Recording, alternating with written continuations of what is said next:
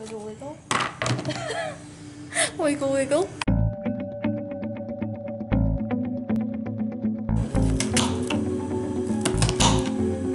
Blunk.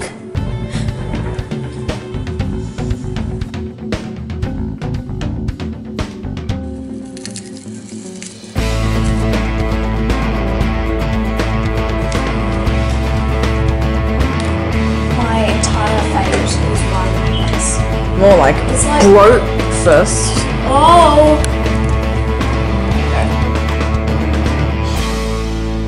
Smash! Hey guys, it's me Oliver. Today Hello. I'm with my husband. Hello, I'm Blake. Yes. Um, is this Chats with Ollie? chats with Ollie. Yeah. Number 21. But um we're gonna be talking about self-care and like how to How to self care. how to self-care. Okay, well, the first most important thing is self care is not the same for everyone. Self care is about making yourself feel good.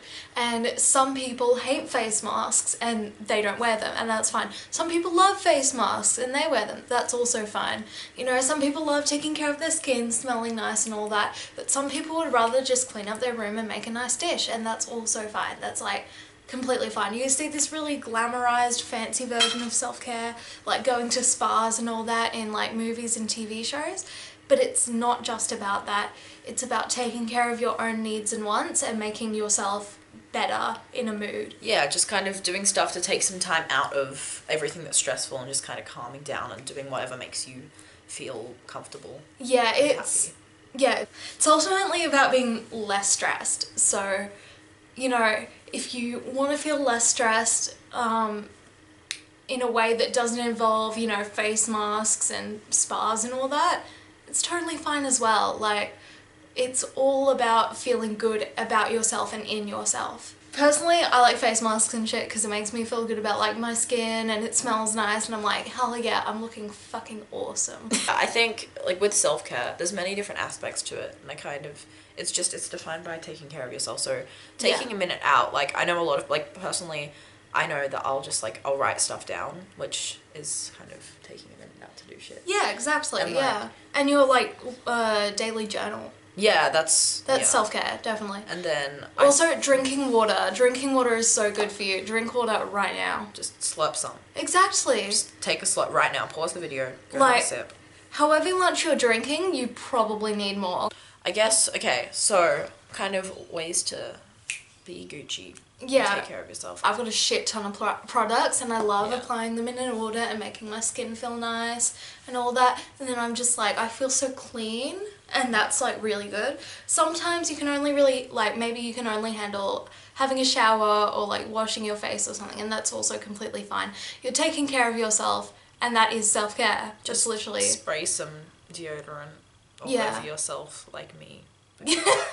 Mood. But like seriously, um, it's it's just doing anything to take a minute. Like you could make a playlist of music that kind of calms you down and helps you sit out and be Gucci. Exactly. yeah. I know there's music that specifically makes me feel better, and like find something that makes you feel better when you're upset or when you're just overwhelmed and stressed, Yeah. and do that. Like have a space, like if you can, create like a physical space yeah. where you can just go and be calm and do whatever makes you happy. If that's like listening to music, playing music. Yeah, right now I'm in my basement and like this is where I go for self care. We stay in the basement. Yeah, I like put on my, all my self care shit and then I wash it off and it like it feels great. Um, also, it doesn't have to be expensive. Self care does not have to be expensive. Another point, I, I know I'm switching between points here. Now this is a bit controversial, but I personally don't think drugs are self care. No. Cause no, because you go through the low and it's only a temporary. Yeah, yeah. I don't think drugs are self care. That's like an unhealthy coping mechanism.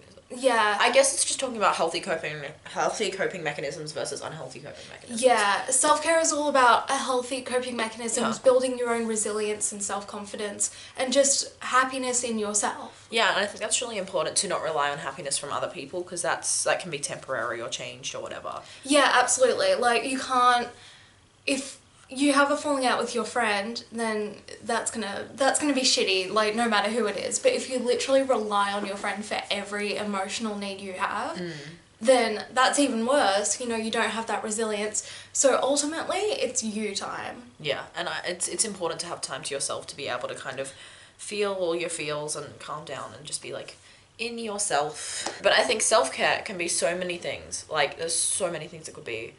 And it's just kind of taking care of yourself, healthy coping mechanisms. And like literally a healthy coping mechanism can just be like what what's some? Just, you know, Um, having a nap, taking a shower, cooking yourself a meal, yeah. like um, eating healthy, drinking some water. Just having that time is self care. cuddle a cat. Yeah, cuddle a cat. Cat, cats are great self care. Dogs. Yo, yes, I love dogs Yes. so much. and um, you can also if you get like an article of clothing that makes you really comfortable just like a really fluffy jumper Mm. or some fluffy socks and just kind of sit in it and i'm not like at all saying that self-care is like a solution if you're struggling It's not a complete solution, but it's good like habit to get into. yeah and it's not like you know those whole people who are like you know take a run and your depression's cured Yeah, i'm not no, saying that i'm just saying not. it's important like not like necessarily in a mental illness aspect but just if you're stressed Yeah, it, it helps. It, It definitely help, helps me recover. Yeah, but just you know, if you're stressed, it's something you can do to kind of have time out and just breathe. And I think also it's important to kind of make like a list of things that you like, you know, calm you down. Yeah. Oh, another thing is you should. You know what you should do? You should get like an article of clothing, like some gloves or a jumper, or like a lotion that has a p- specific scent, and then use that when you're doing self care, so that your brain kind of goes like. When your brain connects to th- your brain builds connections, and the more something happens, the stronger the connection is. So if I'm wearing my gloves and I only ever wear my gloves when I'm trying to be calm, then I'm going to be calm, right? Because like I have that connection between those gloves and calm, right? So that's something you should consider. Mm, definitely. Yeah. And I think also something like with because I know music helps me a lot because Oh yeah, same. But if you're like trying to calm down and be not feeling like like if you want to calm down and be like chill, Yeah. listen to like lo-fi or something. Or like happy music. It's called mood countering actually. Mm. When you're stressed and you want to feel not stressed, you lit- listen to something calm, and then that in in itself calms you down. Lo-fi and stuff like that, like Yeah, Snail's lo-fi's House great, And yeah. Snail's House that helps me. Also, this t-shirt is too small for me because I got it like two years ago, so I've just constantly been. Hey, well, I'm a that. Hufflepuff, so um, Yeah. bitch. I don't know why I trust you, but Mood, me but yeah, that's some self care. One more thing I want to say. Yes. Uh, Self care is especially good for people recovering from eating disorders. So, if you make a meal, even if it's just really fucking bland, like pasta or mashed potato, and if you make it and you eat it, then it'll make you so much happier and more confident in yourself. And then after that, you take some time to chill and relax. And you also have to do this thing called thought countering. It's not thought stopping. Thought stopping is unhealthy. Thought stopping is when you just cut it off, right? Yeah. Because that's that's realistically not going to help. But thought countering is when you talk to yourself like you're your best friend. So let's say your best friend is struggling with an eating disorder. How would you say to them, um, how would you support them? Yeah, and then, And then you say that to yourself, Yeah. right? Because the same is true for everyone. Like, you know, just because, like, your friend deserves that and so do you, you know? Mm, yeah, it's just having a healthy relationship with yourself. Oh, absolutely, yeah. Also, I'm gonna. I've had. I'm had an idea and I'm gonna do it. What? So I'm gonna make some like self care checklist things. Oh, yes, Like- that's a really good idea. Because I wanted to make templates for my story anyway. Yeah. So I will link those. Yeah. I'll put them somewhere. Somewhere. But yeah, so just you know, making sure you're taking care of yourself, doing Mm. checklists, kind of definitely journaling helps. And I also do this like, this is well when I'm in a stressed or anxious moment, which um, I've been told to do by my therapist. I write like you know the model the cognitive behavioral. Yeah? That- CBT. yeah, you write like you write the trigger, the thoughts, feelings, body response, and actions that you take Yeah. and that helps with like um you know understanding how you're feeling and breaking it down because often when you're stressed you think irrationally rather than with rational thoughts Yeah, because you're just stuck in your own mind in that Yeah. sense. And obviously, those feelings are still valid, but they're not. they're heightened when you're not thinking straight. yeah, they're heightened, so you should uh, not thinking straight. i knew you were going to say that You know, even though those feelings are valid, that doesn't mean that they're necessarily